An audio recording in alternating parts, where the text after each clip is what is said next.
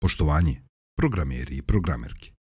Dobrodošli u prvi semestar Vue.js. U ovom kursu upoznaćemo se sa najlepšim frontend JavaScript frameworkom.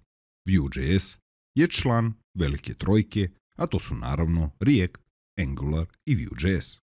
Tehnički, sva tri rade istu stvar, čine da web aplikacije budu brze i reaktivne. JavaScript kao jezik stoji iza svega toga ali pisanje velikih aplikacija u čistom JavaScriptu i nije tako lako. Zato su ova tri frameworka postala popularna, mada tehnički kažemo za sva tri da su frameworkovi, iako React je samo JavaScript biblioteka.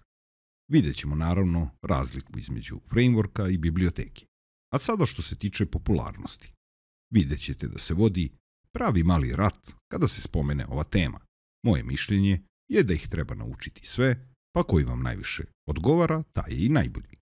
Međutim, statistike pokazuju da je React framework koji se najviše koristi, mada ono što ja volim da istaknem jeste koliko zvezdica ima neki framework na samom GitHubu. Ajmo da bacimo oko na to. Ja sam na GitHub stranici Vue.js-a gdje vidimo 179.000 zvezdica za sam Vue.js. Ajmo da pogledamo React.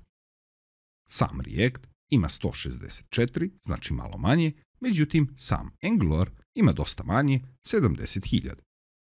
Ovo nam samo pokazuje da developeri zaista vole Vue.js i zaista ima razlog zašto je to tako. Vue.js je taj koji spaja najbolje iz Reacta i Angulara.